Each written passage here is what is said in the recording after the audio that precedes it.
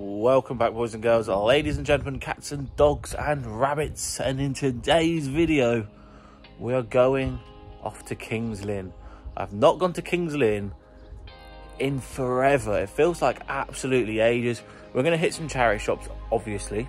I mean, that is what we're about here at Rummage Around, aren't we? we we, we go around charity shops, pick some stuff up and uh, resell it online for a profit. However, there is one shop in particular that I haven't been to in ages. And it's probably one of the biggest retro gaming stores I've ever seen around this area. So I'm going to take you along with them, have a look at some retro games as well. Yeah, just a little bit of reselling video, a little bit of gaming video, a little bit of this, a little bit of that. Can we profit from going to Kings Lynn? We're going to go and hit some charity shops, obviously. So uh, without further ado, obviously, let's get into the car, drive around for about 40 minutes, and uh, fall into some charity shops. Let's get crack-a-lacking. Boom. But before we do go to King's Lynn, we must take a few photos with us. So when we find ourselves at a loose end, paying for stuff or just walking around the town, we can list. It's all about being efficiency and efficient and more efficiency. It's all about being efficient when you work for yourself. So when if I can take some listings with me while I'm walking to my next charity shops or next shops, then yeah, we'll take that. So we're going to list these Adidas Alpha Bounces. Uh, beautiful condition, to be fair. Look at that. Continental tire grips as well. We flip and take that here at Rummage Around. Uh, let's get this listed or photographed and listed while we're walking around. We are then going to take some photos of these beautiful hot pink Russell and Bromley driving shoes. Look at the, look at that. Look at the tread on this. It's absolutely stunning. We can, uh, yeah, these are driving shoes. You can tell that by the tread on the bottom of the feet. Look at them. Bosh. Nice hot pink. Nice UK size 4. Russell and Bromley, obviously, is a phenomenal brand. And this should sell for about £30. Again, we'll take photos. So when we're walking around King's Lynn, we can list. And another item that we're going to list while we're walking around is these DMs. These are Macy's 3s. There has been slight wear to these, so they're not in perfect condition, but plenty of life left, plenty of tread. Should be an easy 25, 30 quid, UK size 2. Don't be afraid to pick up the smaller sizes. Damn, look at that cinematic shot of an Xbox One controller. We're going to get this listed now for about 25 to 28 pound. Get photos taken and take it with us to King's Lynn. So we've got four items ready to go with us. So that's that's a treat. So we can go to King's Lynn knowing that we're not cheating on eBay, can't we? So I'm in my car, brum brum. Let's go to King's Lynn. We have made it to sunny King's Lynn. Uh, it's not sunny at all.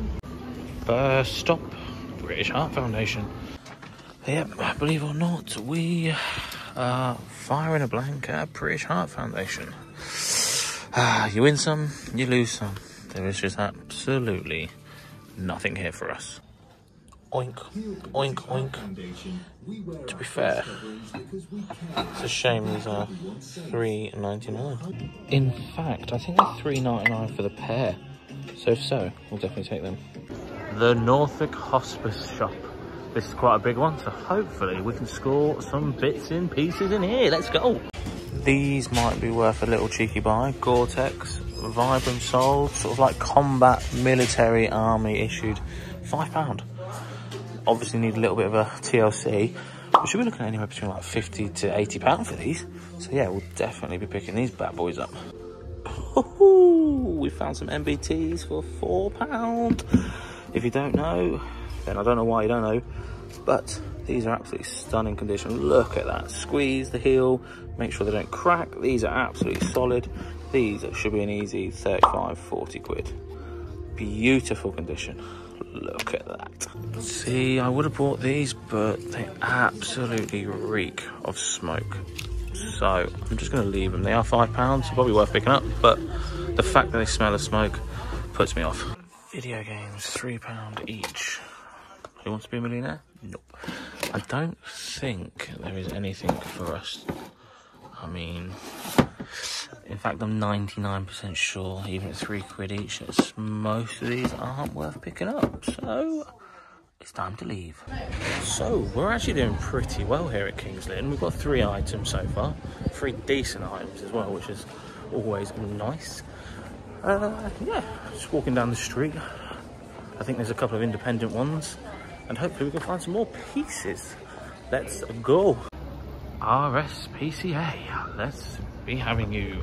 Yeah, I think most of this is just books, books, and more books, and more books. I absolutely have no idea what to look for when it comes to reselling books. So, I'm just going to get out of this shop as quickly as I entered.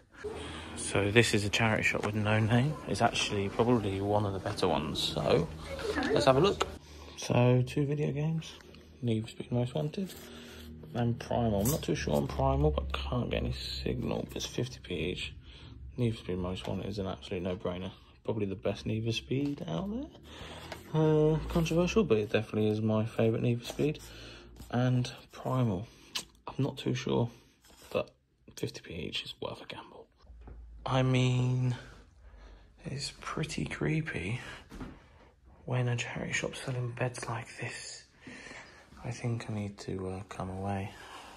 But I think I'm going to leave Primal because it's not got its manual. And I kind of just pick up games now that are fully complete. So unfortunately, I'm going to put this one back. Most Wanted has its manual, so we'll take that one for sure. Sue Ryder, everything £3 or less. Well, hopefully, we can find some stuff in here. Yeah, there's a reason why it's um, £3 or less. Oh, hang on. Why line for? I thought it was a £3 only shop. So, £5. I can only find one on eBay for over £100. So, we're going to take a chance on it. It's IKEA. It's brand new. It's discontinued. £5. Like I said, there's only one on eBay for well over £100. So, uh, fingers crossed we can get somewhere near that. Well, hopefully we can get a bit more than £5, let's put it that way. Yep, and there we have it. Another reason why you should be on the lookout for IKEA. Hopefully, an easy triple figure there. Bosh. Right, guys, I've got a question for you. Why is it when you're hungry, you always buy more food? So I've gone to Greggs because I was absolutely starving. I bought a baguette, two Yum Yums, and an eclair, and a drink, and a chocolate biscuit. Why? Why is it when you're hungry, you buy more food? YMCA, let's be having you. Does anyone need any more puzzles? Puzzles back in the day though, when it was lockdown, they flipping flew out. But now, they don't. What the hell is that ugly thing? I'm loving this. American vintage. Five pound. American vintage. And look at this one. American vintage. Vintage American. Hmm. Here it is, the retro retreat. Just games. I'm going, Jamie. You games, do what you want. games, and a lot of them. Oh my god. Sorry. If you ever find this in the wild, it's definitely worth picking up. £150. Gee. Is there anything for the personal collection? Um, so far, no. What's this? More vid- Aye, that game though, Beyblade V-Force on the Game Boy Advance. Gee, that was a sick game back in the day. So, does anyone need any Skylanders? Because I know a shop that sells thousands of them. Games, games, games. Wowzers. I've never seen so many PlayStation 1 games in one cabinet. Oh yeah. And more games. Ratchet and Clank. What a game. Ah, I need a PS5. I really do. So if anyone finds a PS5 in the uh, charity shop or car boot, let me know. Yeah, cheers, bye. See, every time I find Funko Pops, it's never, ever, ever the ones I'm looking for. I, I kind of collect the music ones, but I can never find anywhere any music pops. Jeez, look at that. Xbox One Hitman 2 Gold Edition. That is absolutely fire. Uh, uh, um, B&M Classic. Uh, Bosh. I've got about, I used to have about 60 of these in the uh, unit at one point. Yeah, I didn't buy a single thing from that shop because it's just out of my price range. So this is by far the most expensive cancer research I've ever been to. Like £30 for a pair of Nike Air Force Ones. Point proven. FootJoy golf shoes. £30. I mean, look at that. Burberry London, £150. Wow. You see what I mean? It's the most expensive cancer research you'll ever see in your ever life. £150 for probably a fake Burberry London uh, little bag. Bonkers. And we're in the last charity shop. Hopefully, we can finish on a high. I mean, it's not looking too great. I'll tell you what, considering Kings Lynn has about 50 charity shops, he's pretty poor. All right, we'll check the one pound rail then, see if there's any uh, bargains to be had. Probably not. Just looks like the same crap. Yeah, it was a bit of a fail, the last one. some cash for tomorrow's car boot. Let's go. So we've got some cash out. We're actually going to a car boot with James on Sunday. So that will be pretty interesting. But I think we are done here at Kings Lynn. I don't know if any of you guys do this, but when I need some change, I always buy stationery for like the business, like brown tape or padded envelopes, just to break the change up for the car boots. So I'm gonna buy one of these so I can break a 20. Might just buy a pack of six of these. It's probably not the most efficient way, but at least it's staying within the business. That's my way of, uh, of, of, of uh, yeah, convincing myself it's fine. It probably isn't fine. You're probably going to tell me differently, but a pound for six of these keeps it within the business. It changes my 20, it breaks my 20 pounds, so I'm happy. So yeah, some of you are probably thinking, why don't I just use the post office? However, the post office behind me is closed. So that was the next, next best thing I could think of at the time. I just needed to change uh, a 20, so we bought a pack of bubble mailers. And normally when I'm in Spalding, there isn't really a decent post office at all. So that's the way I get around it. Probably stupid. I know it's stupid, but hey, you win some, you lose some. P.S. £1,035 for iPhone 13. Apple, I love you, but that's ridiculous.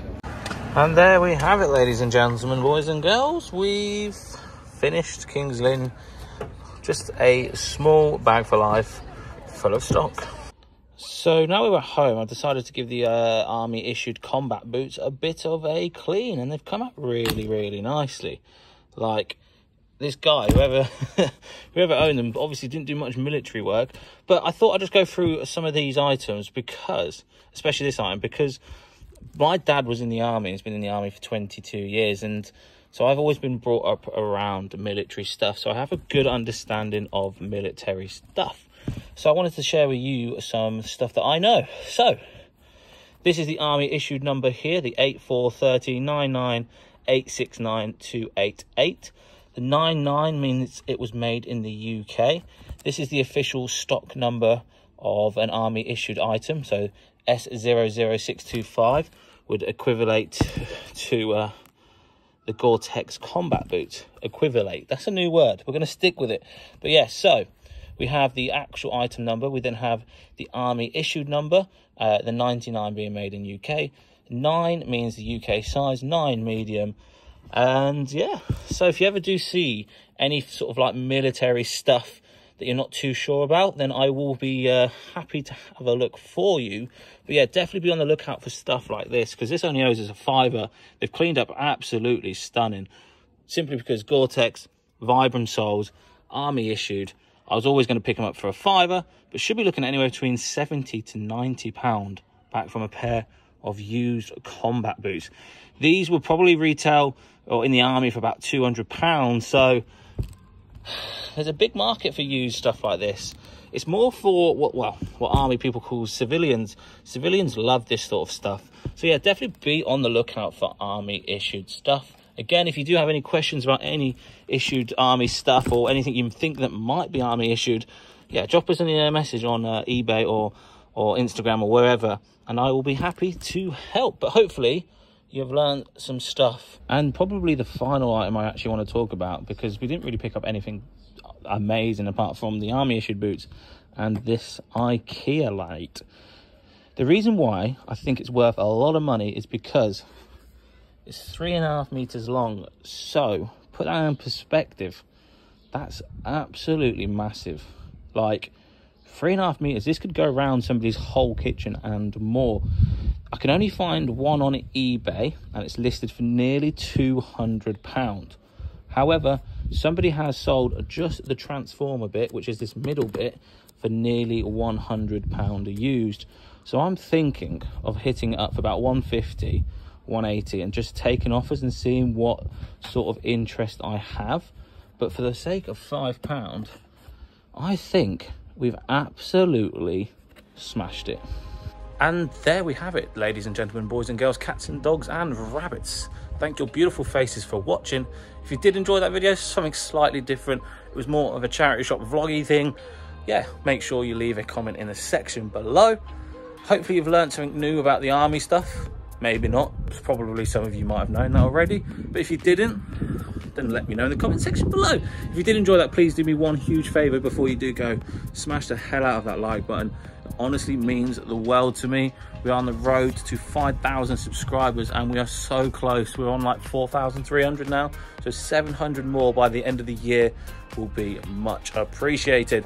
Thank you guys for watching and I'll see you on Sunday. Boom.